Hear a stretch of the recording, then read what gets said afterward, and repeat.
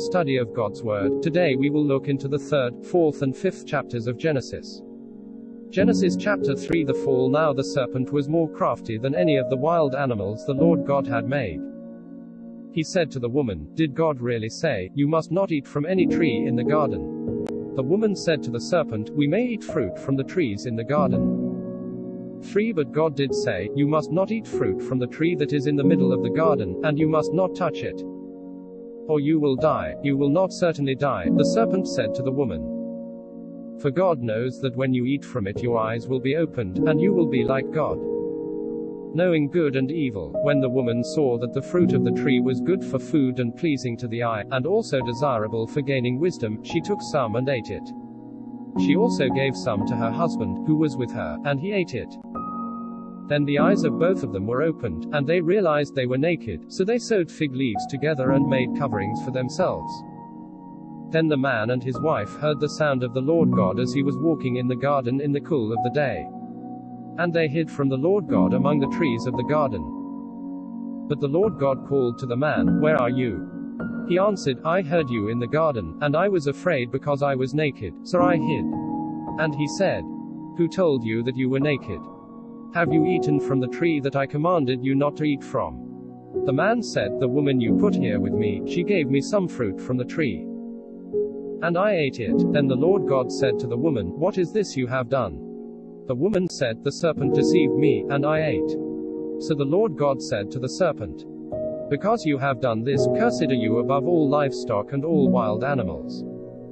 You will crawl on your belly and you will eat dust all the days of your life. And I will put enmity between you and the woman, and between your offspring and hers, he will crush your head, and you will strike his heel. To the woman he said, I will make your pains in childbearing very severe, with painful labor you will give birth to children. Your desire will be for your husband, and he will rule over you. To Adam he said, Because you listened to your wife and ate fruit from the tree about which I commanded you. You must not eat from it, cursed is the ground because of you. Through painful toil you will eat food from it all the days of your life. 18 It will produce thorns and thistles for you, and you will eat the plants of the field. 19 By the sweat of your brow you will eat your food until you return to the ground, since from it you were taken. For dust you are, and to dust you will return. Adam named his wife Eve, because she would become the mother of all the living. The Lord God made garments of skin for Adam and his wife and clothed them. And the Lord God said, The man has now become like one of us, knowing good and evil. He must not be allowed to reach out his hand and take also from the tree of life and eat. And live forever. So the Lord God banished him from the Garden of Eden to work the ground from which he had been taken. After he drove the man out, he placed on the east side of the Garden of Eden cherubim and a flaming sword flashing back and forth to guard the way to the tree of life. Genesis chapter 4 Cain and Abel Adam made love to his wife Eve, and she became pregnant and gave birth to Cain. She said, With the help of the Lord I have brought forth a man. Later she gave birth to his brother Abel. Now Abel kept flocks, and Cain worked the soil. In the course of time Cain brought some of the fruits of the soil as an offering to the Lord. And Abel also brought an offering, fat portions from some of the firstborn of his flock. The Lord looked with favor on Abel and his offering, but on Cain and his offering he did not look with favor. So Cain was very angry, and his face was downcast. Then the Lord said to Cain, Why are you angry? Why is your face downcast? If you do what is right, will you not be accepted? But if you do not do what is right, sin is crouching at your door, it desires to have you, but you must rule over it. Now Cain said to his brother Abel, Let's go out to the field. While they were in the field, Cain attacked his brother Abel and killed him. Then the Lord said to Cain, Where is your brother Abel? I don't know, he replied. Am I my brother's keeper? The Lord said, What have you done? Listen. Your brother's blood cries out to me from the ground. Now you are under a curse and driven from the ground, which opened its mouth to receive your brother's blood from your hand. When you work the ground, it will no longer yield its crops for you. You will be a restless wanderer on the earth. Cain said to the Lord, My punishment is more than I can bear. Today you are driving me from the land, and I will be hidden from your presence. I will be a restless wanderer on the earth, and whoever finds me will kill me. But the Lord said to him, Not so, anyone who kills Cain will suffer vengeance seven times over.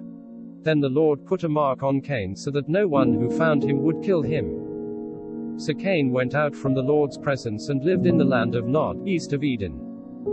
Cain made love to his wife, and she became pregnant and gave birth to Enoch. Cain was then building a city, and he named it after his son Enoch. To Enoch was born Arad, and Arad was the father of Mehujael, and Mehujael was the father of Methushael, and Methushael was the father of Lamech. Lamech married two women, one named Adah and the other Zillah. Adah gave birth to Jabal, he was the father of those who live in tents and raise livestock.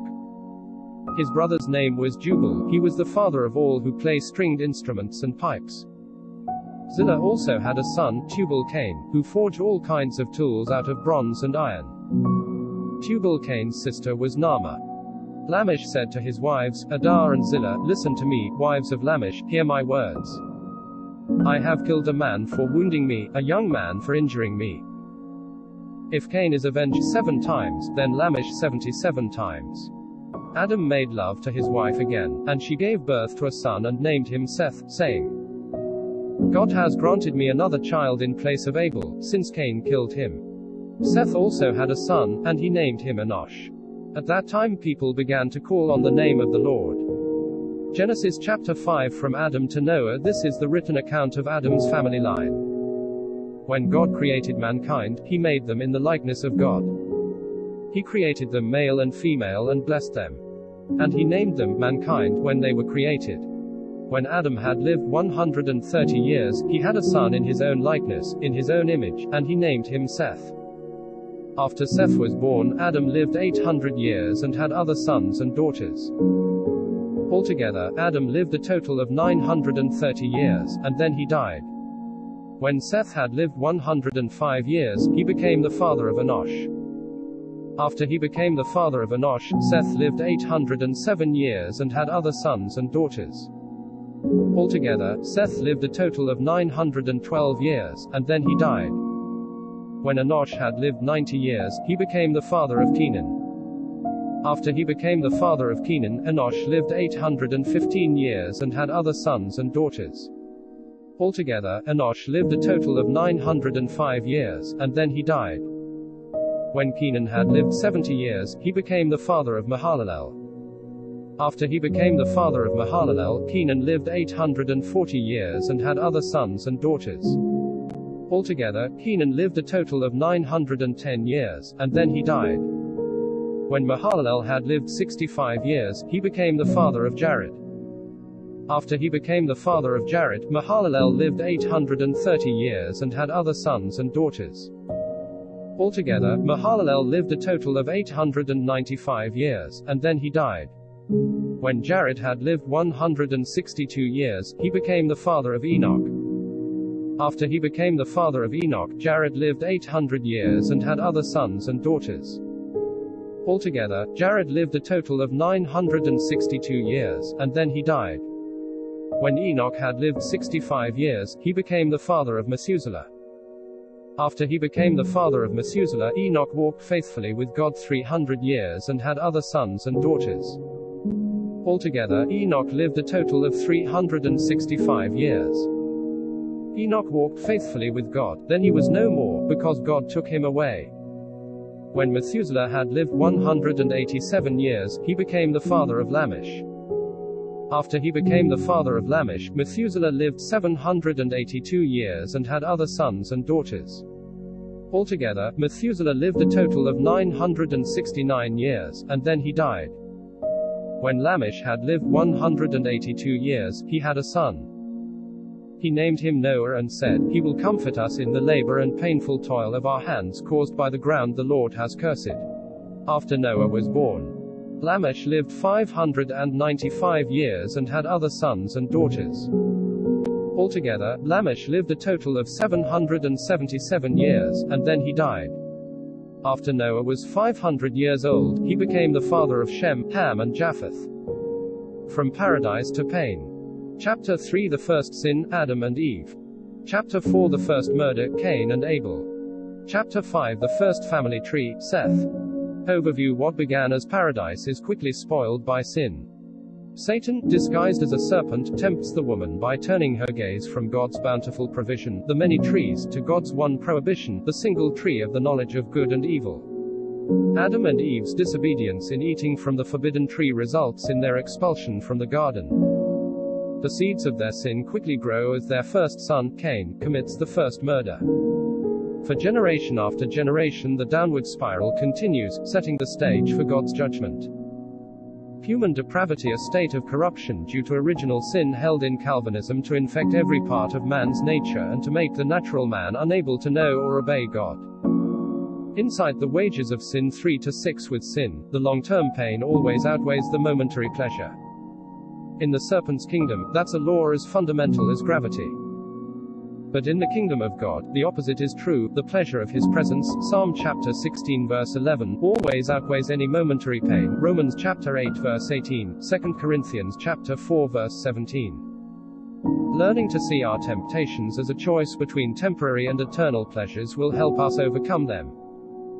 Inside prophecy of Messiah 3:15 from ancient times, Jewish rabbis interpreted this offspring of the woman to be the Messiah, Hebrew for the anointed one while Satan would inflict a non-lethal blow on him. He would deliver a mortal blow to Satan.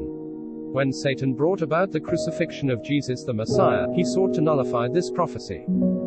Instead, the prophecy was fulfilled, God prevailed and Jesus conquered death. See Colossians chapter 2 verse 15. Revelation chapter 20 verses 7 to 10 predicts the ultimate blow to Satan's head, when God will destroy him, and Jesus the Messiah will reign forever.